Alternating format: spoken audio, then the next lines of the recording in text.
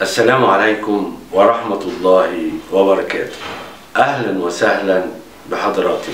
في الحقيقة النهاردة عندنا مواضيع غاية في الأهمية نبدأ الفيديو على بركة الله. تسريب مستشاري الرئيس السيسي يستوجب خروج مسؤول ذو ثقل ومصداقية من رئاسة الجمهورية للرد على هذا التسريب وفورا. فإن كانت الوقائع مفبركة يجب نفي هذه الوقائع وإن كانت الوقائع صحيحة يجب إعلان إحالة كل الأسماء التي وردت في هذا التسريب إلى المحاكمة. وذلك احتراما للشعب المصري ولعدم تضرر شعبية الرئيس.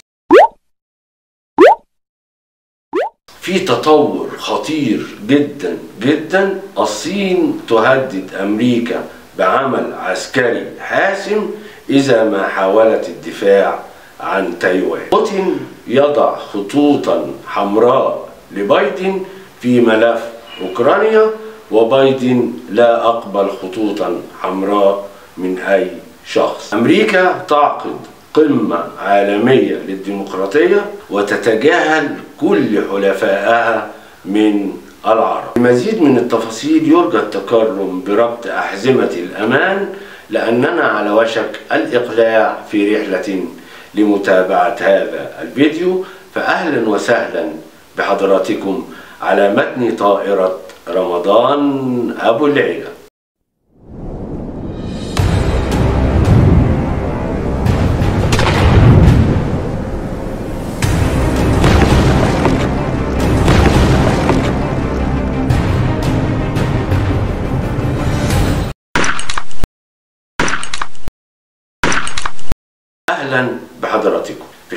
الحقيقة حضرات هناك تسريب يتم تداوله على كل وسائل التواصل الاجتماعي لمستشاري الرئيس السيسي. التسريب عبارة عن مكالمة تليفونية بين لواء في الجيش متقاعد يعمل استشاري في رئاسة الجمهورية وبين سيدة محامية تعمل استشارية في رئاسة الجمهورية.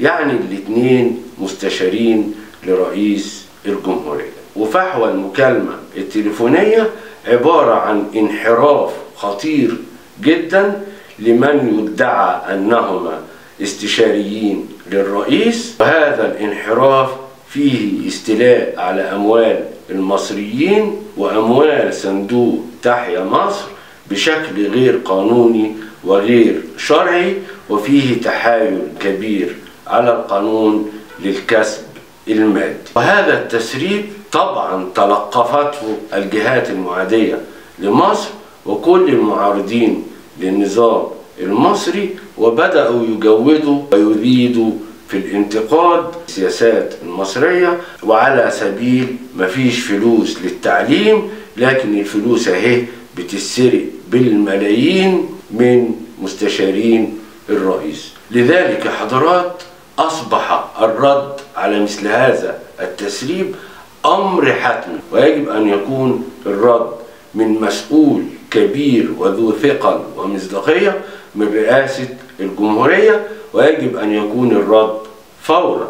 فإن كانت هذه الوقائع مفبركة وجب النفي والبحث عن مصدرها لتحويله إلى المحاكمة. أما إذا كانت الوقائع صحيحة فيجب إعلان تحويل كل الأسماء التي وردت في هذا التسريب إلى المحاكمة أيا كانت مناصبهم لأن لا أحد فوق القانون. الرد أصبح حتميا وذلك احتراما للشعب المصري ولقطع الطريق على كل المرجفين لعمل بلبلة في الشارع المصري وكذلك لعدم تضرر شعبية الرئيس السيسي بأن مستشاريه يسرقون أموال المصريين. بالإضافة إلى ذلك فإن الرد يبرئ ذمة مؤسسة وطنية غالية جدا في قلوب كل المصريين وهي مؤسسة القوات المسلحة. فقد ورد في التسريب اسم الهيئة الهندسية للقوات المسلحة ومن قبل ذكرت الهيئة الهندسية بشكل سلبي في فيديوهات المدعو محمد علي. لذلك أصبح الرد ونفي هذه الوقائع إذا كانت مفبركة أمرا حتميا وجوبيا ويجب أن يكون في أقرب وقت ممكن. أما إذا كانت الوقائع صحيحة فيجب تحويل كل الأسماء التي وردت في التسريب إلى المحاكمة أن أحدا ليس فوق القانون في مصر وأن من ينحرف سيلقى جزاؤه وأن الرئيس السيسي يحارب الفساد في أي مكان كان وأيا كانت المناصب والأسماء.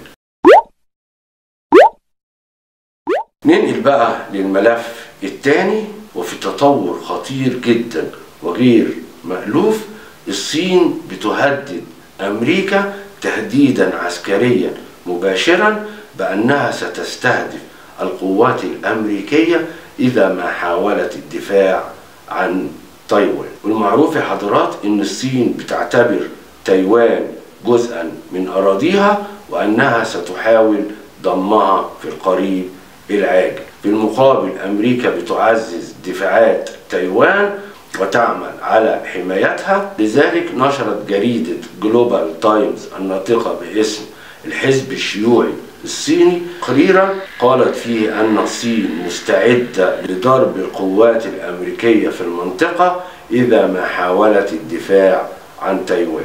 وجاءت هذه التصريحات مباشرة في أعقاب تصريح مستشار الأمن القومي الأمريكي جيك سوليفان بأن أمريكا تتعهد بحماية تايوان ولن تسمح أبدا للصين بغزو تايوان. لذلك جاءت هذه التصريحات الخطيرة والقوية بأن الصين مستعدة بشن هجوم شامل وحاسم على كل القوات الأمريكية الموجودة في المنطقة إذا ما حاولت الدفاع عن تايوان.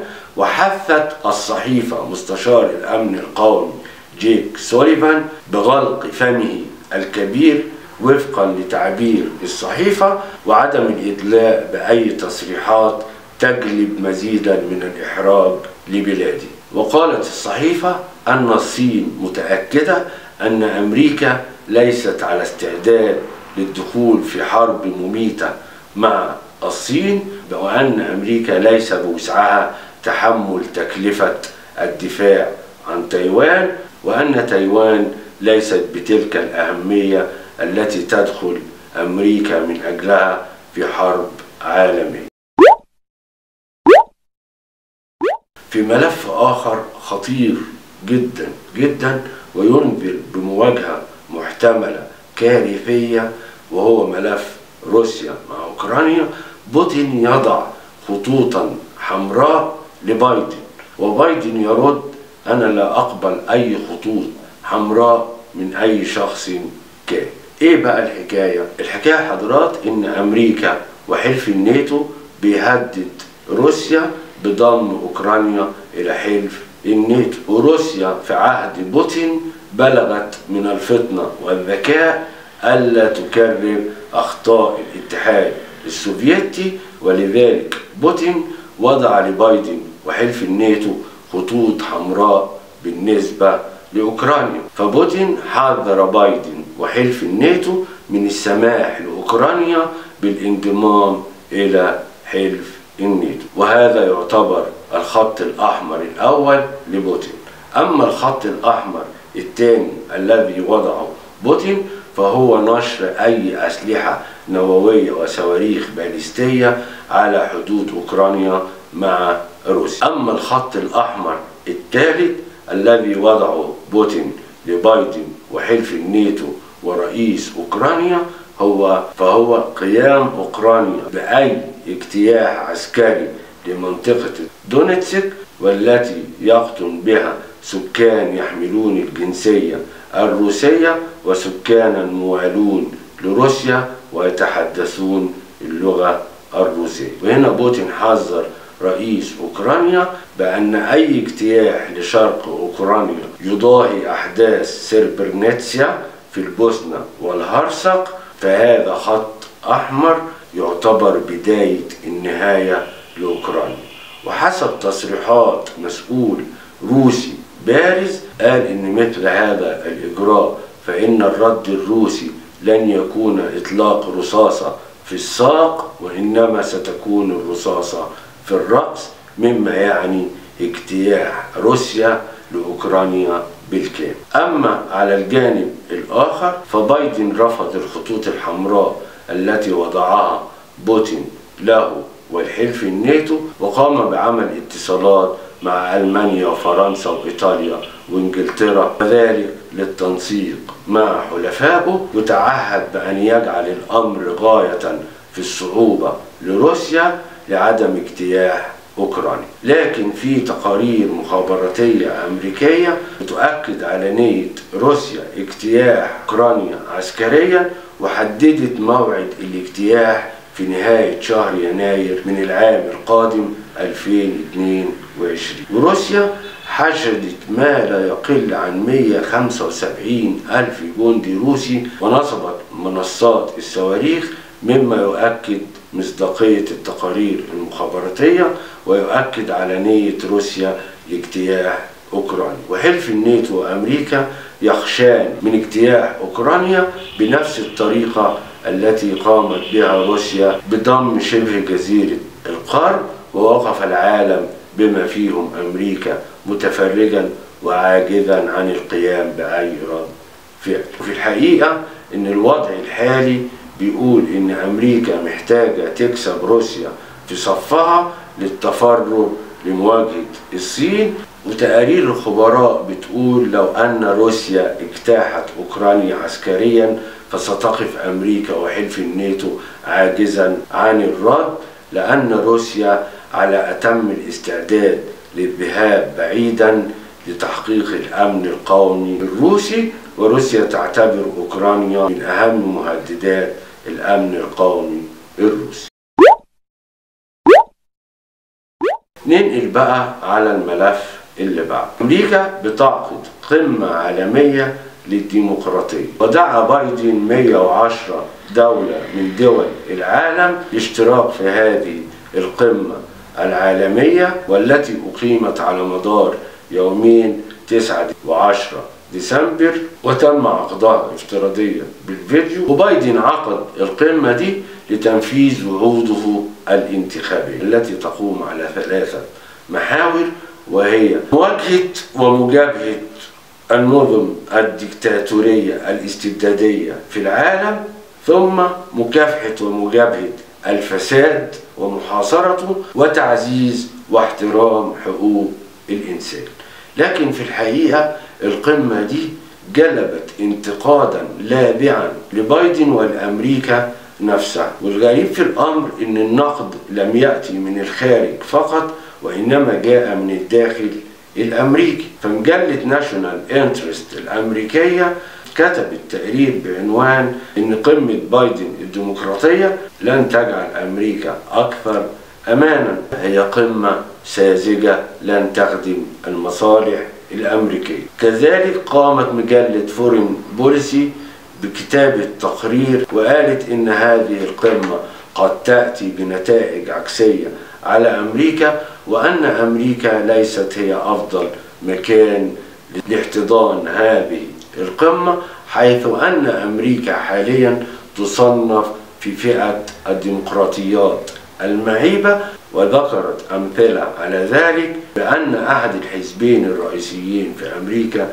كان يرفض نتائج الانتخابات الأخيرة وأن الهجوم على الكابيتال ومجلس النواب ده يعتبر انقلابا على الحكم وأن أمريكا تعاني من الصراع العنصري ضد السود وهذا يمثل اختراقا للديمقراطية. أما بقى النقد الخارجي فده جه من كل حد وصاب إلا أن أقوى انتقاد لبايدن وقمته للديمقراطية المزعومة جه منين؟ جه من الصين ثم روسيا الصين خرجت منها انتقادات لاذعة وتصريحات على لسان أكثر من مسؤول لكن أقوى انتقاد خرج من المتحدث باسم وزير الخارجية الصيني واتهم أمريكا إنها بتضلل العالم وتستخدم الديمقراطية كذريعة للهيمنة وفرض سيطرتها على العالم. هي إحدى وسائل الحرب الباردة التي تزيد منها أمريكا وهذا ناتج من عدم قدرة أمريكا على مواجهة صعود الصين وأن أمريكا تنقصها الثقة وحسن النية مع الصين. أما روسيا فجاءت منها انتقادات لاذعة ضد قمة بايدن وقالت إن أمريكا بتحاول تقسيم العالم وبتهدد السلام العالمي وتحاول تقسيم العالم إلى معسكرين طبقا لرؤيتها. وجاءت انتقادات أخرى من عدة دول مفادها أن أمريكا مصرة على نشر النموذج الأمريكي للديمقراطية بالرغم من فشل تجربة نشر الديمقراطية الأمريكية باستخدام القوة العسكرية في كل من أفغانستان والعراق وسوريا وليبيا وأدت هذه الديمقراطية الأمريكية إلى قتل وتشريد الملايين من الأبرياء وتدمير العديد من الدول وأن الديمقراطية لا تفرض بل يجب أن تختارها الشعوب ومن الجدير بالذكر يا حضرات إن بايدن دعا لهذه القمة 110 دولة وتجاهل دعوة روسيا والصين والمجر كذلك تجاهل دعوة أي من حلفائه من الدول العربية. فتخيلوا حضرات ان من الخليج والشرق الأوسط لم يتم دعوة إلا إسرائيل والعراق. ولم يدعو بايدن لهذه القمة لا السعودية ولا الإمارات ولا مصر ولا قطر ولا البحرين ولا أي من دول شمال أفريقيا ولم يدعو من أفريقيا إلا انجولا وفي نفس الوقت دعا دولا مسار الديمقراطية بها عليه تساؤلات كثيرة مثل الهند والبرازيل. وبكده بنصل إلى نهاية أخبارنا النهاردة. في النهاية نسأل الله سبحانه وتعالى أن يديم أمنه وأمانه على مصر والمصريين وألا ينزع عنا أبدا غطاء ستره. والسلام عليكم ورحمة الله